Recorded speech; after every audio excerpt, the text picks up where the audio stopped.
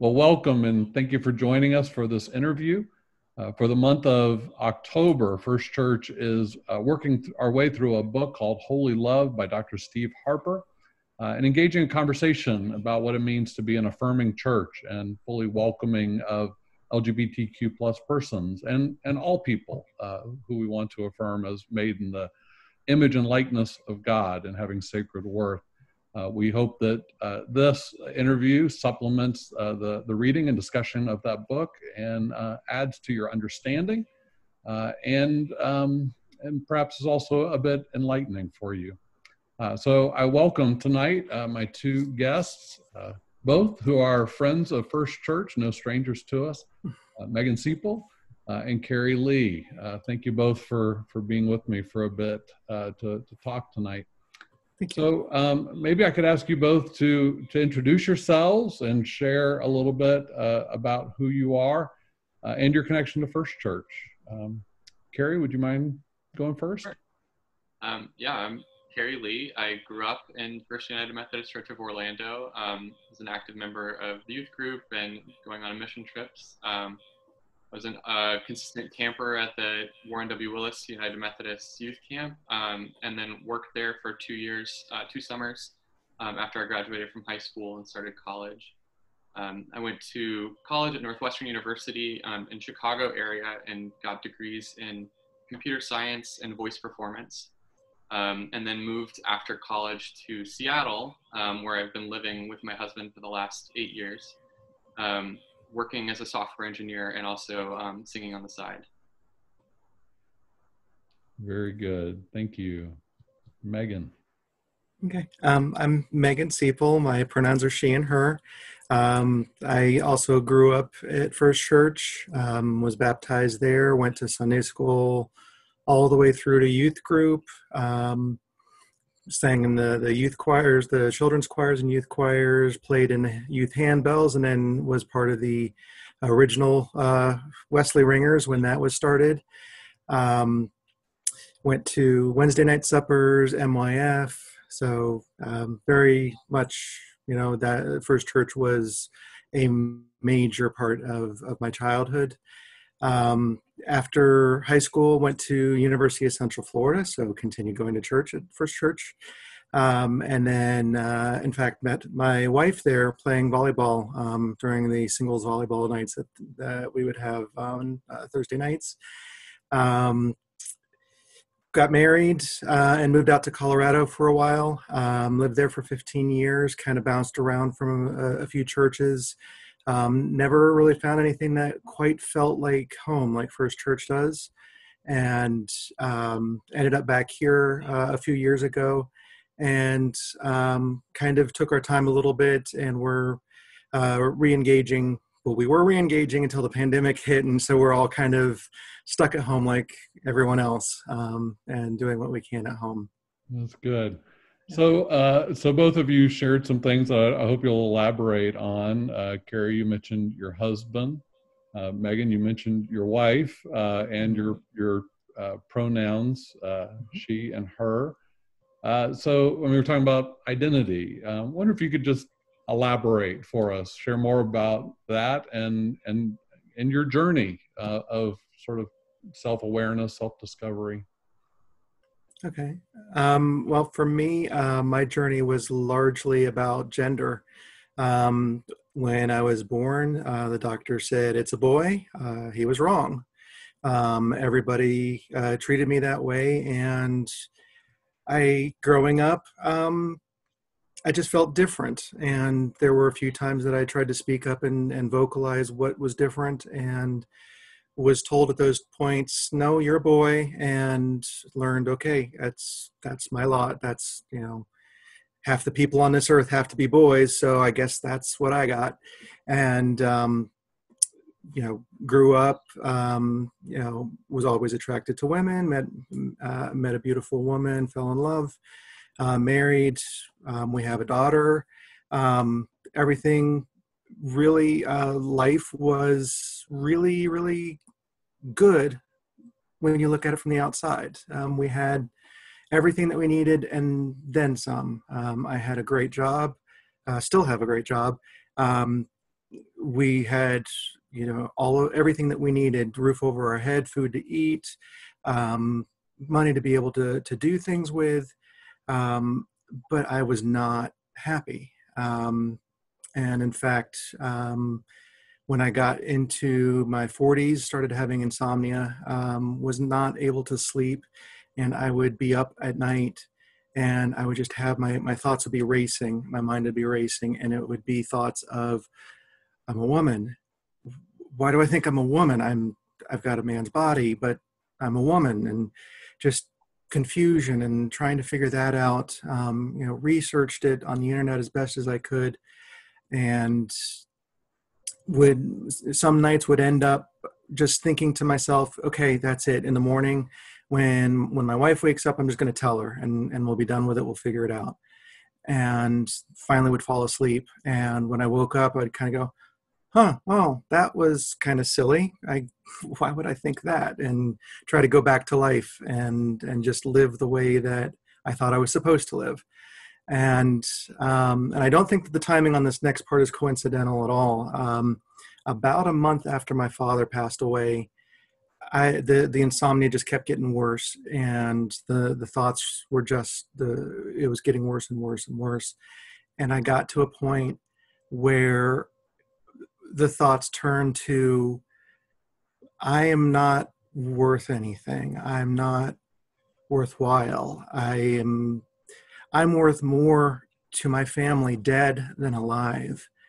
If I can find a way to end my life and make it look like an accident, I will have done them a service by dying because they will have gotten a payout from life insurance and, and other things.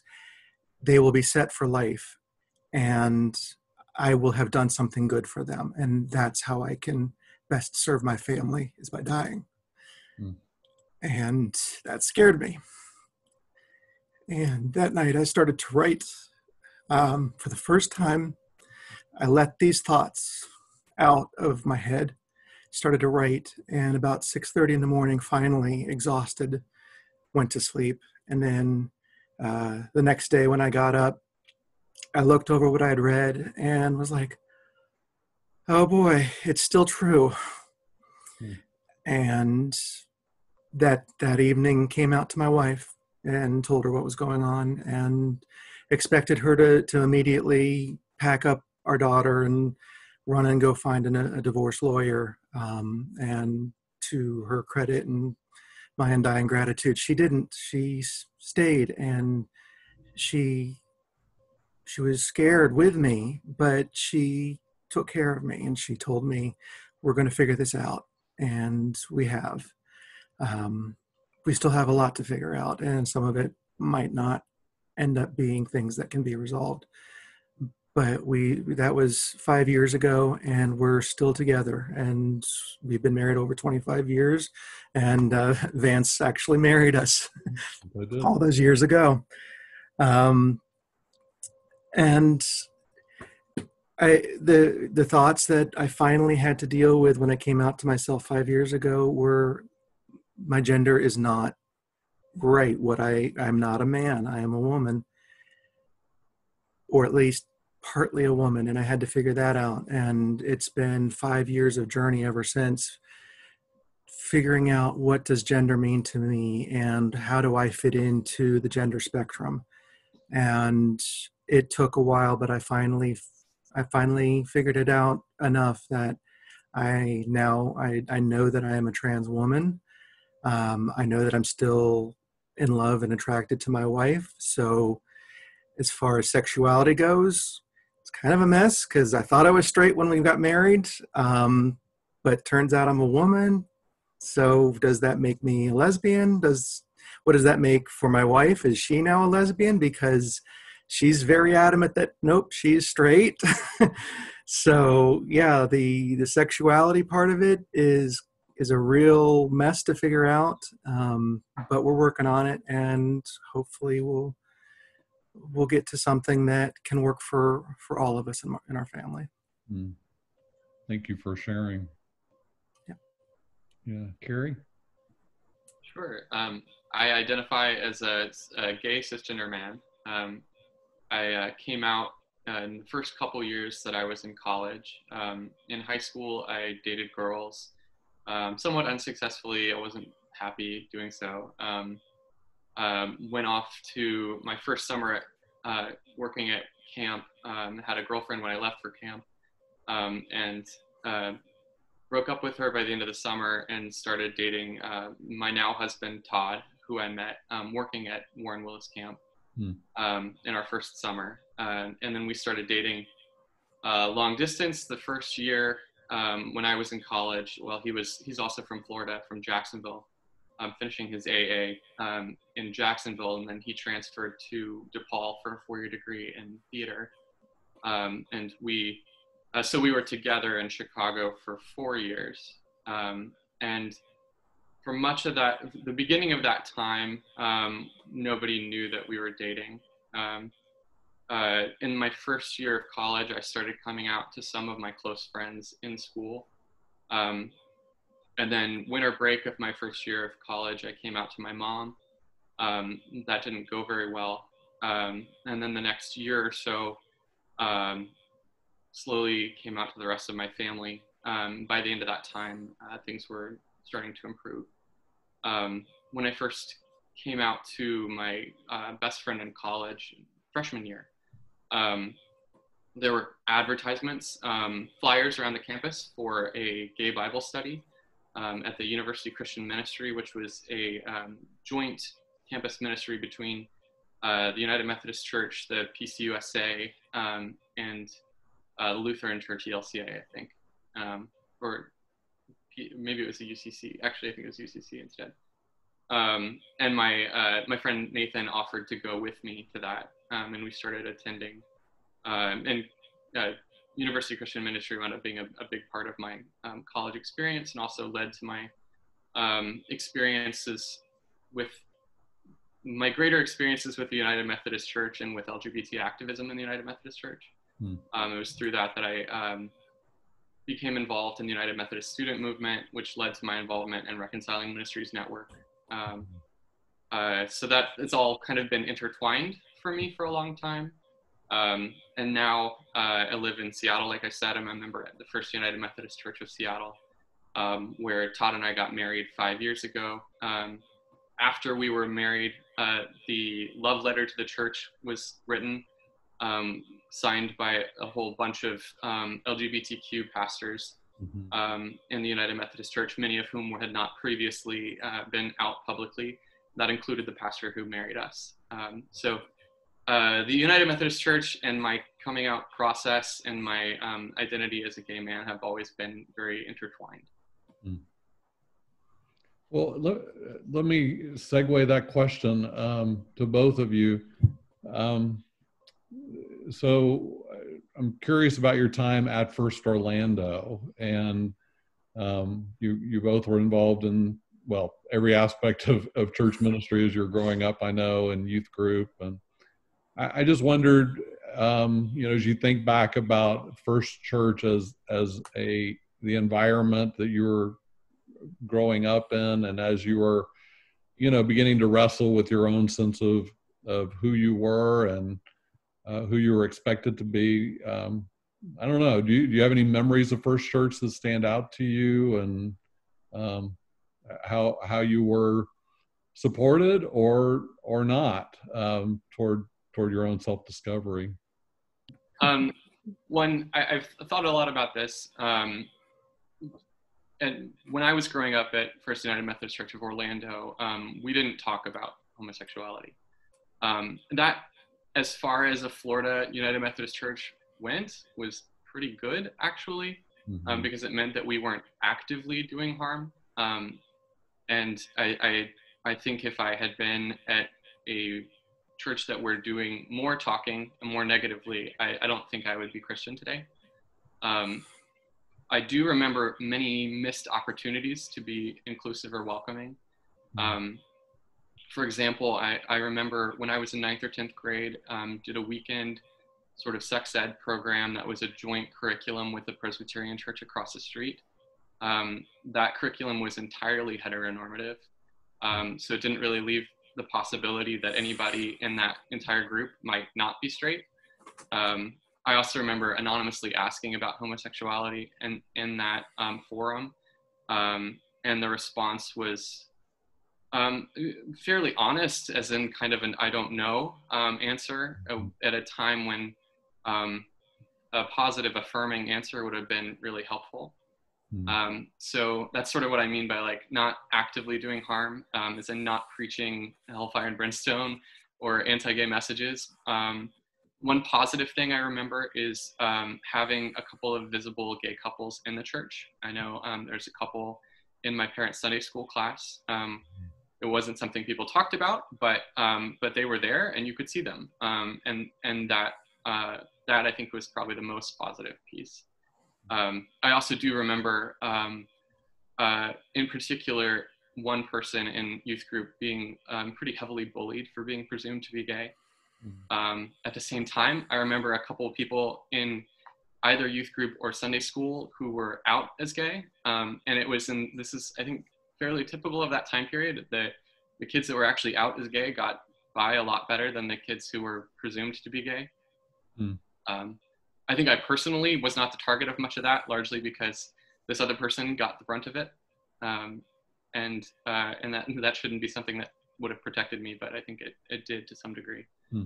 Um, so largely, I'd say that uh, the church had avoided doing the worst of the harm, um, provided some opportunities uh, for a lot of theological exploration. I definitely was raised with um, a good United Methodist value of doing my own theology um, and not being told dogmatically what was right or wrong. Um, but uh, I, I, came out of um, of high school believing that uh, that figuring out whether um, homosexuality was sinful or not was um, was something that gay people needed to do, and it was nobody else's business. Mm. and I think ultimately for that time period, that was as as good as I was going to get coming out of Central Florida. Mm. Megan, how about you?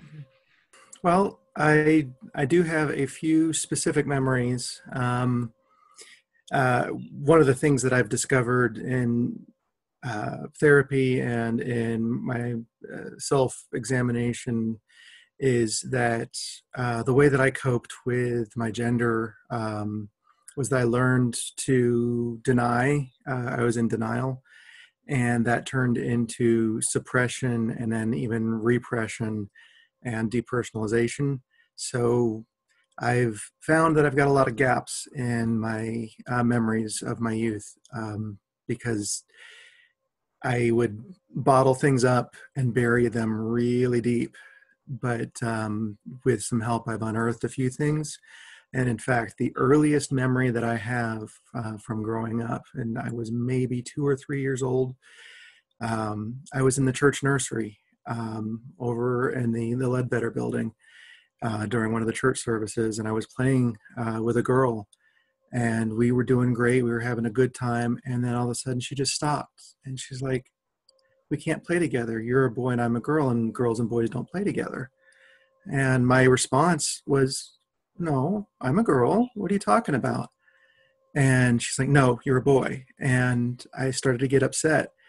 And before long, one of the adults that was working in the nursery noticed and came over. And I'm sure I was, uh, you know, a blubbering mess at that point. And, you know, she she says that I'm a I'm a boy and I'm not a boy. I'm a girl. And the adult is, you know, very well meaning, uh, not intending anything um, except to just you know try to calm me down was like oh no you know that's silly you're a boy and i remember in that moment thinking but how do you know you didn't ask me and that there's a lot of emotion tied up in that obviously um, later in church um, you know seeing the girls uh, interacting and doing things and you know sunday they're wearing pretty dresses and i knew that that was for me but i had nothing to go on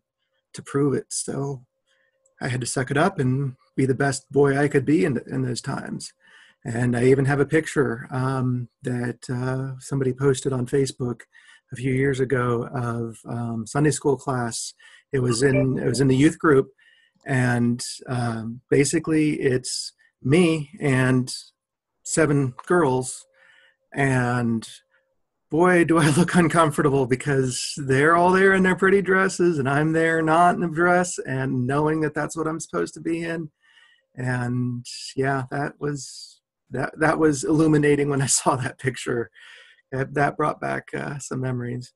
But um, as as far as experiences directly dealing with what I was going through, uh, I think I'm in the same uh, same boat as Cary. Uh, things like this just they weren't talked about which in hindsight i agree that probably was for that time about the best thing that could have happened because when i was growing up the attitudes that would have come uh, had they been talked about it were very likely going to have been way more damaging than just not knowing so from that perspective that was that was good um, it it left a lot of a lot of questions on my side um, because I couldn't find any answers really anywhere.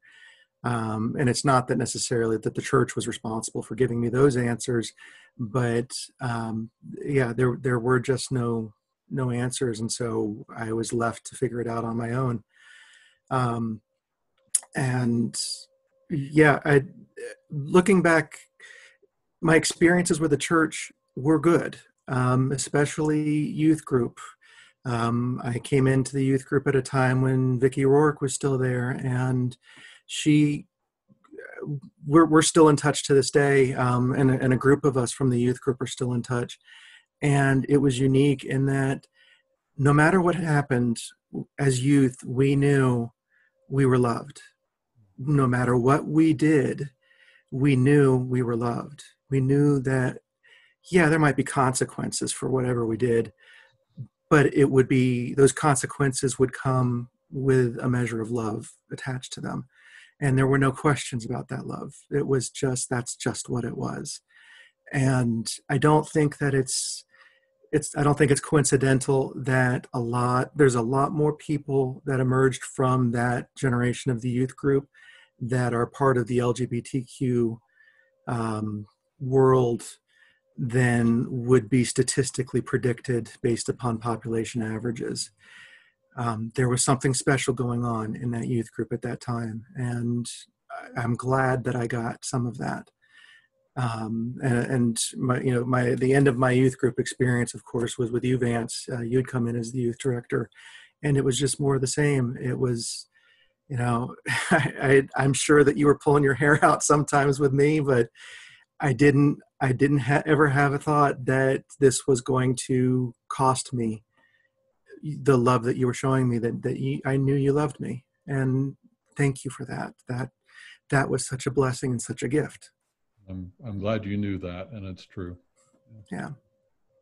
So you know I'm listening to both of you and I'm I'm simultaneously thankful for the good that you received at First Church, and and I think you're both being very gracious and saying, you know, it was probably the best that a Methodist church in Central Florida at that time had to offer, um, and at the same time, you know, wishing that wishing we had done better, um, uh, both in my time as the youth director for you, Megan, but as a you know, just as the pastor of this church uh, for both of you. And and i'm thinking about words that we use sometimes like like acceptance or um, affirming or um, or safe or or what it means to be an ally. And it it sounds like in many ways the the the church managed uh, even if it you know even if there were you know nobody talked about you know um, things that we we managed to be accepting, um, but but that that maybe that's not enough. Um, and and wonder if you could talk both of you about you know, what would mean to be an affirming church and, you know, the, the affirmation that would have been meaningful to you then. And, you know, if, if there was a younger version of yourself in the youth group today, what you would hope um, First Church could offer them in terms of affirmation. What, what does that look like? What does affirmation mean? What does it look like? Okay. Um, well, for me, um, it means that first and foremost, that I love God and that God loves me, and that there are no asterisks, no conditions, and no qualifications to either of those. There is nothing attached to my gender, my sexuality, my orientation that goes with that. Those are universal, those are non negotiable. It means that I, that my being a woman is recognized as a fact. Uh, it is not it's not questioned or challenged or debated. It's not it's not something that is debatable. That's just that is a reality of my existence. Um, and it means that my validity and value as a woman are, are appreciated. Um, and it means that who I'm attracted to, um, who I love, who I'm in consensual, adult, romantic, emotional, spiritual, sexual relationships with are they're they're celebrated as being positive, that they're healthy, that they're holy relationships. It, it means that who I am is celebrated without any any reservation. Um, means that I see and that I hear language that demonstrates that I'm appreciated for for who I am. Mm. Uh, it means that I am welcome and that I am included anywhere that I would be if I were a straight cisgender woman. Mm. And it means that my relationships with others in the church are mutually nurturing, that we trust, care, love, and have empathy for each other. Mm. That was powerful. Yeah. I think um, to me, accepting uh, leads to uh, things like um, being accept, accepting of someone um, for who they are, or possibly being accepting of someone despite who they are, mm-hmm. um, rather than uh, affirming, which goes on to um, affirming someone f- because of who they are and for who they are. Mm-hmm. So, um, accept an accepting church is a church that uh, accepts anyone where they are and allows them to participate. An affirming church is a church that um, celebrates who people are um, for who they are and recognizes that the diversity of the different people coming in is a strength of the congregation. Mm. Um, one that recognizes that queer people and queer voices have something unique to bring um, and can help teach the rest of the church about the body of Christ and that without them, we don't have a complete picture. Um, so, an affirming church is one that recognizes not just that it's uh, LGBT people who need to be allowed in the church, but it's the church that needs LGBT people to be present. Mm. Yeah, that, that that last statement, you said a lot of powerful things there, Cary, but particularly uh, that we don't just allow you in. Um, that that's what acceptance kind of communicates, isn't it? That we we're we'll allow you in and we'll tolerate you um, versus uh, that that's powerful that the church needs you. Um, and and you know we affirm that you know I, I I'm I'm guessing both of you were baptized at First Church in our sanctuary. And uh, when we when the whoever that pastor was when he took you in he or she took you into their arms uh, you know they were affirming your sacred worth and uh, and we we didn't even know who you were at that point, but we already could theologically claim that about you, and and certainly that hasn't certainly that hasn't changed. Um, that that we need the full diversity of God's children in the church. Yeah, that's uh, thank you for that. And that, and, and I appreciate the, the way you both talked about, a, you know, the, the words that were, I don't think either one of you said this, but that you know that affirming is is like you know in marriage we talk about love honor and cherish well that, that's more than tolerance right that mm-hmm. that's i i see your value and um, i see what you bring to this relationship. Yeah, and you both certainly do. What um, you know, so maybe even take it one step further. So you know, one you know, churches may think they're doing a good thing by being accepting, um, and maybe that's not a bad place to start. Uh, but hopefully become uh, as you know as we're seeking to do at First Church to become an affirming church. Um, but maybe the word ally. What what you, when you hear that word, what what does it mean for a somebody like me? Uh, you know, uh, my pronouns are are him and his. Um, straight, cisgender. You know, what does it mean for somebody like me to be an ally for you in the church and in the world? Well, for me, um, being an ally means that um, you are uh, well uh, uh, affirmation definitely comes with it it's it's it's not being an ally is not something that is a performance it's it's something that you're living.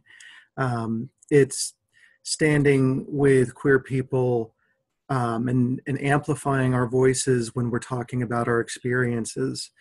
And it's speaking for us when we aren't present or when we can't speak for ourselves. And it's you know it's it's showing it's showing us that you have our backs that you you've got us you'll catch us if we fall mm. that you'll tend to our wounds if we're hurt um, and that you're going to love us regardless. And i mean it's kind of the same things that everybody needs um, from well everybody. I, you know that's what we're looking for in our relationships with others with the people that we're married to the people that we're friends with it's show show me that you are thinking about what it must be like to have a different experience. Uh, you don't need to you don't need to understand it necessarily but let me know that you're you're trying that you're thinking about it and that you recognize that things can impact me differently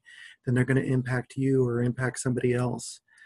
And it's uh, it you know just you know show up at events that are important to me that that are validating my identity and you know don't talk over us um, when when we need to speak please just be there to amplify our voices and not to speak over us. Mm. Um, but yeah, it's it's it's mainly be there, love us, show us that you're thinking about what we need and you're doing your best to provide for those needs wherever you can.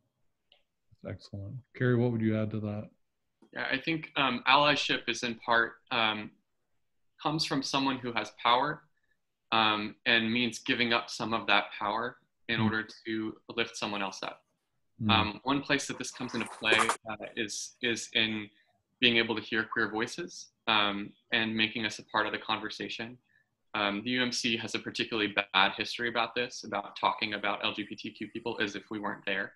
Um, and the way to change that is is not just to talk about us as if we're in the room, but make us one of the people speaking. Um, Mm. And uh, one way to do that is to make sure that LGBTQ people are present on church council. Mm-hmm. Um, and if there aren't, there are people in the congregation, and nominations committee should be paying attention to um, different spectra of diversity when when figuring out the leadership of the church. Um, so allyship is about intentionally lifting up the voices um, of the marginalized and other minorities. Mm, excellent. I mean, I, the word justice is coming to mind of um, advocating. Yeah, yeah. Well, this is so. I, I'm. I want to turn this over to you, um, and uh, Cary, you're on the other side of the country now, um, but still have family at First Church. Megan, you're you're you're home.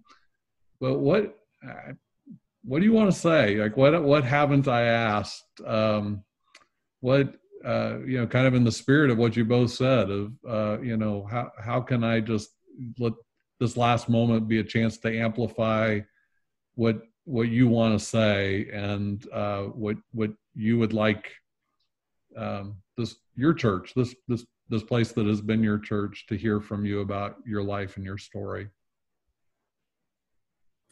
Well, um, I think one of the main takeaways that I would like for people to have is um, I'm human. I'm a person. I'm just like you in most ways. There are differences, yes, but they're not, you know, most of the things are similar. We, we have very similar experiences in so many different ways.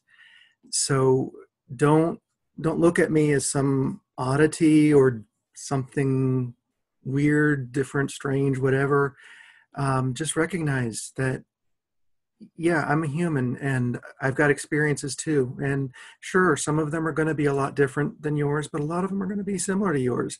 And so let's build off of that. Let's let's create relationships, you know, and if you have questions, ask them. If you have questions about my gender or about my my orientation, go ahead, ask them. That, that's fine. Um, you know, please be respectful you know make sure that you're treating me with with dignity and that you're respecting uh, mine and, and my family's privacy um, but i've found that the more people ask me questions the more i learn about myself too and that's so important to me because i've i have purposefully throughout my life kept myself from knowing things about myself and i'm trying to undo that. So questions help but also don't think that that's the only topic of conversation when it comes to me. Mm. i've got I, i'm i'm more than my gender i am more than my orientation i'm more than my sexuality. I i have interests. I like technology. I like performing arts. I like cirque du soleil. Um, you know let's let's talk about those things too and bond over those things um, because that's that's what I think we all need is to to feel connected and together. And sure i want you to learn about the things that make us different but i also want us to use the things that are are the same to to bring us together mm. um, so um, the only other thing that i would say is um, that there's a lot of people in this church that knew me from before my transition and I just want to say I'm I'm mostly the same person. I mean, the outsides have changed a lot, but the person that I am on the inside is mostly the same. Um, I'm just a lot more comfortable in my body, and I'm I'm able to bring my whole self to the relationships that I'm building with people, and and that's that's nice, and I, I think that that is good for everyone that I can do that. But I, I want you to know don't please don't avoid talking about our past. It happened. And and we were there. We experienced it. So sure let's let's acknowledge that. Let's reminisce about these things. Let's let's talk about the funny things that happen let's talk about the things you know where you know one of us almost died and it's amazing that we didn't and you know whatever you know um, these things happened. Don't don't ignore them. Um, they're they're fair game. Let's talk about them. But I do ask that you use my name. I'm Megan, and use my pronouns she her when describing me in the past, because regardless of what everyone thought, what I when what it, what I look like, and in you know, I even thought that I was a boy. I thought that I was a man. I wasn't. I was a woman the entire time. So those are the correct words to be using about me. So, but you know, if we know each other well enough and you're a hugger, I'm a hugger. Let's hug. I mean, let's be real people with each other. yeah, thank you. All right, Cary, platform is yours. Yeah, um, I've uh, so like I mentioned before, I've been involved um, in some LGBTQ activism in the United Methodist Church. I'm less involved than I used to be. Um, uh, going to First United Methodist Church of Seattle, um, we've got a large queer presence and large queer leadership within the church, um, and largely I'm looking forward and uh, figuring out where we're going to be when as the church changes. Um, but I've been involved in a lot of training and a lot of um, aware a lot of, of how this process goes that First United Methodist Church of Orlando is going through. Um, I'm really proud of y'all for going through it. Um, but some things to keep in mind that I've heard about, um, not from FUMCO, but just in general about the process. Some questions people have is, um, do we really need to do this? Uh, and or we're already an affirming church. We already live into this. Why why do we need to actually make this process? Mm. And the reason is that if I moved to Orlando today and weren't from there, um, if you didn't have an open a, a, welcome statement that explicitly listed LGBTQ people as welcome and were explicitly listed as an affirming church, I would never come. Um, that is a, a, prerequisite for me attending a church. Um, and in today's era, if if you don't, if you're not explicitly um, affirming, you're assumed to be um, unaffirming. Um, and that's that is generally how LGBTQ Christians um, view a church. We, it's it's with um, a lot of skepticism um, because a lot of people have been hurt. Um, I'd say also that uh, this there's a lot of opportunity to um, open doors to LGBTQ people. there's a lot of people who there are a lot of people, and I have friends who are um, atheist and, and hate church because of how they were harmed by it. But there's also a lot of people who are open to being invited back um, with the right spirit. Um, and that comes like with Megan said of an acknowledgement of the past, mm-hmm. Um, uh, apologizing for and recognizing the harm that the church, not not FUMCO, but the church capital C has done to LGBTQ people over the last 50 years. Um, there's a lot of opportunity for um, for growth with an an active, um, meaningful, and dedicated um, uh, language with talking about um, how what what we're doing to change and grow and how we're going to be um, breaking away from the past. Um, so that's that's part of what I would say there. it's it's a really important process. It's a really important decision to make, and it is important to be explicit about it. Um, otherwise, it, it, doesn't it doesn't mean a whole lot. Mm-hmm. Well, thank you for that. Thank you both for this time. Uh, this this has been uh, good for me, and um, I I just it's been generous of you to give this time and to share from your hearts and your life story.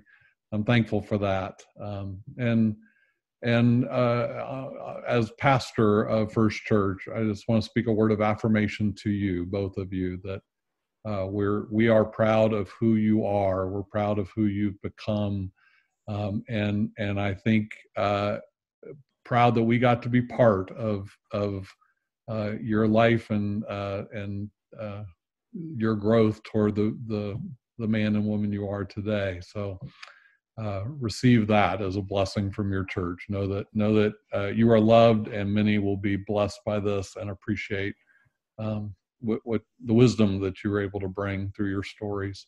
So, thank you both. Thank you.